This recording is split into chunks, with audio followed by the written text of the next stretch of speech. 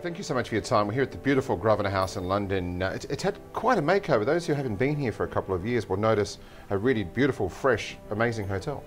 That's right. The it was it came on board of the JW Marriott Grosvenor House in 2010, following a 100 million pound renovation, and uh, more recently we spent some 30 million pounds uh, doing a refresh of all our uh, bed stock public spaces, created some new uh, royal suites, and uh, invested in our ballroom and banqueting space.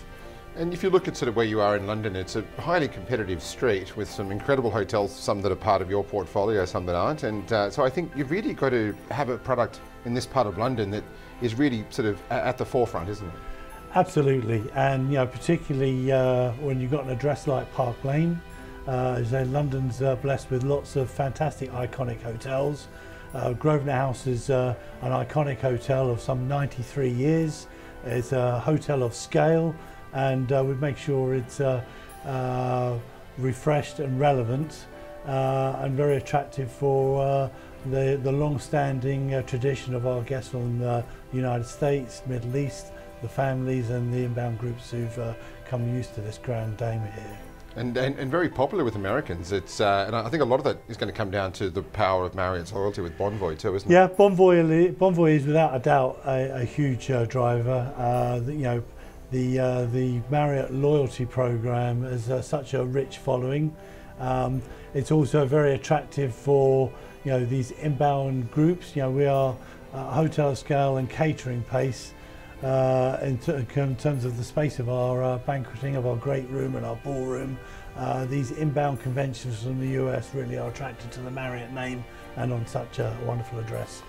Yeah, I've actually been to a couple of events here in the hotel, so I've seen your your event spaces uh, while things have been going on, and it, it, really is impressive from an event standpoint here as well. Yeah, I'd like to think um, if there's an event going of note in London, it's invariably in the Great Room.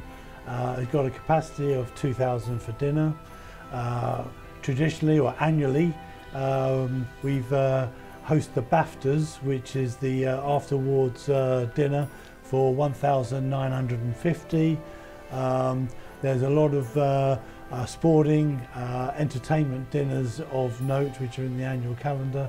And say if there is an iconic event, it's usually here at Grosvenor House. One of London's biggest hotels as well. So obviously, when you look at it from a service standpoint, from a product standpoint, it's going to keep you on your toes being in this property too, isn't it?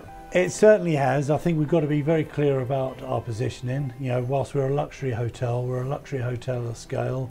Um, we know that we're not necessarily in the uh, uber luxury end of uh, butlers uh, servicing these uh, uh, lots of suites. Um, but without a doubt, we've got a very discerning audience, whether they're staying overnight, whether they're attending events, uh, they know what they want and uh, it's up to us to make sure uh, we get what they expect. And some fantastic food and beverage in the hotel, including just what I heard earlier on, a wonderful pianist downstairs for some afternoon tea. Yeah, um, the, the park room uh, opens up splendidly uh, to, uh, to both sides of Park Lane and Park Street. As you say, we have the, the pianist playing for afternoon tea. Uh, we have the Red Bar, which uh, supports our events. We have a, a US steakhouse. Uh, we've got two um, partner chef patrons for Richard Corrigan. Corrigan's of Mayfair has his restaurant with us and uh, Ruya offers some uh, rich Anatolian Turkish food. So we've got a whole array of food and beverage and it's probably the largest food and beverage off our operation in London. And some of the best service I've had actually in a hotel was actually in your restaurant yesterday. So I think it's testament to, to how good this hotel's run. Well, that's pleasing to note. Uh, I think we're blessed with a wonderful core team. Uh, we're trying to make sure they're supported as they cope with uh, the rapid demand and London is going through such a high upswing of occupancy and uh, I want to make sure that we can nurture the talent we've got, make them feel loved and they can uh, you know, deliver some great service. It's probably one of the most challenging cities in the world from a service standpoint, from food and beverage, and uh, you, you, definitely do get it right here with F&B. And how important is it to have fantastic food and beverage in a hotel in London? Because it's a hallmark of a British hotel. It is uh, it's critically important. I think you know, we give guests choice. Um, uh, the nature, the demographics of our customers are 24 hours. Uh, I think uh, the the opportunity to dining out on our doorstep at Mayfair keeps us on our toes. Keeps us competitive, keeps us relevant, and we can make sure that the offer uh, uh, can retain those guests who've come to London to enjoy what London's about. We've got some great choices here.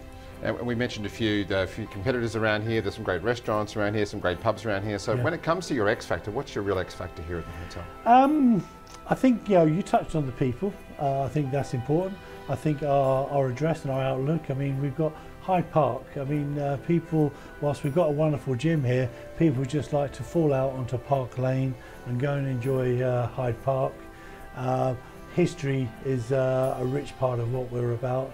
And uh, when we've been hosting uh, royalty and heads of state for all those years, um, I think without a doubt we are, you know, we've got generations of families being passing through here.